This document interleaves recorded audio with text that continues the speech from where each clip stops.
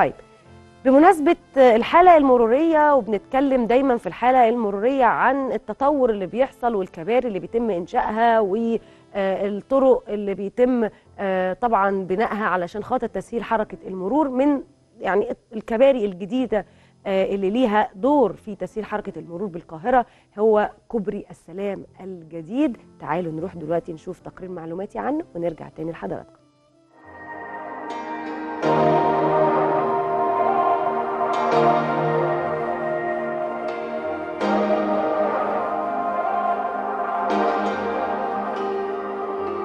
Thank you.